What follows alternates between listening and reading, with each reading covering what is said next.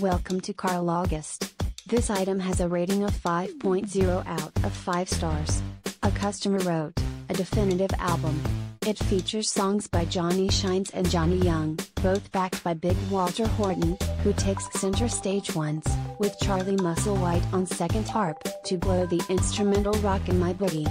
These are some of the best recordings you'll find by any of these artists. Horton is absolutely magnificent. There is no harp man that gets a tone quite as full as Horton's, and he is at his best on this album. One listen will prove why this lesser known bluesman is considered one of the Chicago harp masters alongside Little Walter and Sonny Boy. The first three notes he blows on Black Spider Blues will pierce your heart. You will also be hard pressed to find Johnny Shines sounding any better than he does here. It is not an exaggeration to say that Shines has a more capable voice than the majority of bluesmen and it is displayed in full power on this disc. Shines' Dynaflow Blues, an alteration of Robert Johnson's Terraplane Blues, is absolutely breathtaking. Johnny Young is also in top form. His band on this album gets a very complete sound not found on most of his recordings.